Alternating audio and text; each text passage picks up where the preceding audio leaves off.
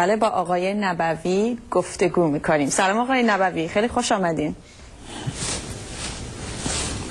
سلام می‌کنم به خانم محمدی عزیز و به حمیده آرمیده و با بقیه دوستانی که در استودیو هستند و امیدوارم که برنامه خوبی رو همراه با شما و کلی خانم هایی که الان تو استودیو هستند داشته باشیم و بتونیم پیش بریم.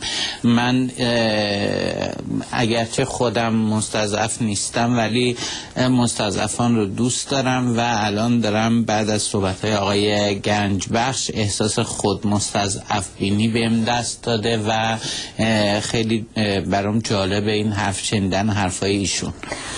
آقای نووی حالا یه از مسئله آقای گنجبخش بیرون بیارم. من یه سوالی ازتون دارم. این سال هفته پیشم پرسیدیم در ارتباط با نمی‌خوایم بریم توش؟ بله. یه ذره من میگم یه ذره بد نیست بریم توی حرفای آقای گنجبخش. حرفای خیلی مهمی بود. به نظر من اگر که ایشون همینجوری مثلا بتونن بحث این مستضعفان جامعه ایران و اصولا کل خب به کل جامعه ایران مستضعفن و به خصوص همین مستضعفانی مثل آقای مهاجرانی و اینا که اینا می‌تونن من فکر کنم که آقای گنجبخش روشن فکر و مستضعف رو این دوتا رو معانیش رو یه ذره بله البته من خیلی وقت ایشون البته نیستن بنابراین بله نظر نظر شخصی ایشون بود. البته بعدش توضیح هم دادن ولی ایشون نیستن. بنابراین من نمی‌دونم که با توجه به توضیحاتی که دادن آیا آه. مشخصا روشن شده که ایشون منظورشون روشن فکر بوده یا مستضعف بوده؟ ولی به حال نظر ایشون بود. حالا آقای بله، نبوی بله. حالا خب، آقای نبوی بذارین در خودشون اومدن. خواهش کنم حالا ولی حالا که تو با بحث آقای گنجبخش ما راجع به بیانی ها صحبت بکنیم من نظر شما رو بپرسم و اصلا بعدا می‌پردازیم به موضوعات دیگه. راجع به این بیانیه ها شما نظرتون چیه؟ چندین بیانیه بعد از بیانیه آقای موسوی منتشر شده و اصلا به و آقای خاتمی عکس العمل نشون دادن آقای رفسنجانی عکس العمل نشون دادن آقای خامنه ای روز یک شنبه مجددا بر آشتی و حالا آشتی الزاما نه ولی اینکه به هر حال باید همه چیز قانونمند باشه صحبت اصلا کلا راجع به این داستانا چی فکر می‌کنین آقای نبوی؟ ببینید من فکر می‌کنم که خیلی از این بیانیه ها مفاهیمشون یا اون حرفایی که می‌خواستم بزنن کم بیش نزدیک به هم بود. ولی در حقیقت تفاوت بین اون گوینده ها بود.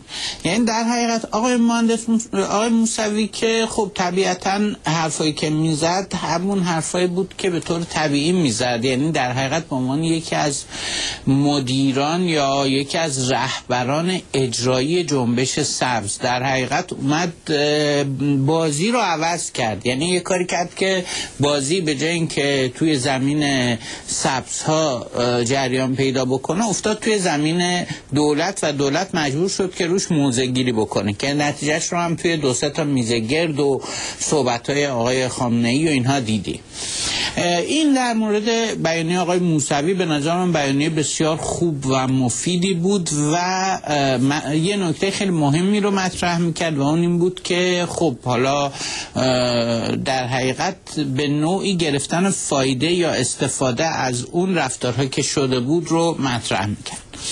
در مورد صحبت های آقای خاتمی به نظر من که دیروز مطرح شد و آقای خاتمی صحبت های کرده بودن راجع به به جنبش سبز و چیزا. به نظر من حرف آقای خاتمی هم خیلی حرفای جالبی بود و دقیقا نشون برای خود من اثبات می‌کرد که چرا چقدر انتخاب انتخاب آقای موسوی به عنوان به رئیس جمهور یا نامزد ریاست جمهوری فکر درستی بوده و آقای خاتمی چقدر جایگاه خیلی مهمی رو در حوزه تفکر و تفکر فلسفی دارم و در حوزه تفکر در حوزه عمل سیاسی به حال خب به حال آقای خاتمی یزدی هستن و اینها. به نظرم یه مقداری مسائل مربوط به یزد و بادگیرا و هوای هوای اون منطقه رو باید در نظر بگیره نکته سوم بیانیه آقای کروبی بود که خب معمولا آقای کروبی هر چیزی رو که آقای موسوی بگن یه دو سه روز بعدش یه واکنشی نشون میدن. یه ذره تندتر معمولا ولی خب خیلی فرق نمی‌کنه. در حقیقت آقای کروبی و آقای موسوی مثل دو تا روح هستند در جان آقای موسوی که به هر حال هر دوش بیانیه ها از نظر محتوایی تفاوتی نداشت. آقای هاشمی رفسنجانی هم یک صحبتهایی کردند که به نظر من بیشتر بیشتر از اینکه به درد این طرف قضیه بخوره به درد اون طرف قضیه چطور به درد, یعنی به درد اون آقای هاشمی چجوری به درد اونا بیشتر می‌خوره؟ آقای هاشمی در حقیقت اون بحثی رو که باید با حکومت جمهوری اسلامی مطرح بشه مطرح کردن. البته خود من معتقدم که بیانیه آقای موسوی هم بیشتر از اون که برای جنبش سبز کار کرد داشته باشه برای در حقیقت یه پیامی بود برای اون طرف قضیه برای اینکه توپ رو پرت کنه به زمین اونها. ولی در مجموع آقای خامنه ای هم که خب طبیعتا بیانیه که یعنی سخنرانی که آقای خامنه ای کردن در حقیقت شاید ایشون هم به نحوی می‌خواست یه واکنشی نشون بده در مقابل بیانیه آقای موسوی. ولی آقای خامنه ای عادت بعدی پیدا کرده. معمولا شروع می‌کنن تصمیم می‌گیرن که خیلی آروم برخورد بکنن. بعد که میان اونجا من فکر کنم اون تنابه اون تنابهی که زمان امام خمینی بسته بودن که میکشیدن. البته من دقیقش رو الان یادم نیست. اینو زیاد می‌کشن. بعد ایشون خب لحنشون تغییر می‌کنه که به نظر من ناشی اون این تغییر لحن ناشی از اون کشیدن اون تنابه است که حالا بعضیایی که در جریان تناب هستن می‌تونن این رو دقیق تر بگن و بهش اشاره بکنن. به نظر من بیانیه ها بفرمایید بیانیه ها به نظر شما تضاد دارن با هم؟ آیا به نظر بفرمایید. به نظر من بیانیه ها بیانیه که گفته شد در حقیقت آن چیزی که مهم بود تو این وسط بیانیه آقای موسوی بود. بیانیه پنج نفر روشن فکران یا مستضعفان یا پابرهنگان یا فقرا یا بدبختا یا بیچاره ها یا تو سری خورد یعنی بیانیه این گروه پنج نفره ای که راجع بهشون حرف می‌زنیم و هر کی رد میشه لغت بهشون میندازه.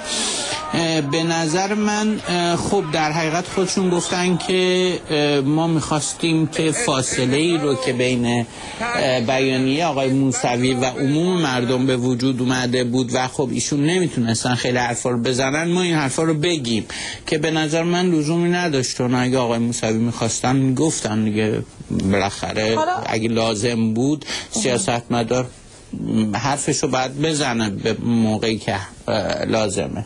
اما یه, یه اتفاق دیگه هم که افتاد آقای نبوی حالا در همین وسط همین بیانیه صادر کردن ها و این تمام مباحث که اتفاق افتاده که گزارش کهریزک و همینطور نظر داستان تهران که در مورد اون منتشر شد و اینکه خب سعید مرتضوی رو به عنوان کسی که دستور داده بودن این زندانیان به این بازداشت شدگان به زندان کهریزک منتقل بشن این هم یک داستانی بودش که این هم یه موضوعی بودش که خب خیلی توجه به خود جلب کرد. حالا واقعا فکر می‌کنید که سرنوشت آقای مرتضوی چی میشه؟ من فکر کنم که همون برن ایشون. یعنی اینکه بالاخره برن دیگه بالاخره حالا اپیلاسیون اینا نمی‌دونم ولی بالاخره کار خیلی کارا از کارهای واجبی که آدما باید انجام بدن و خب اینا رو انجام میدن.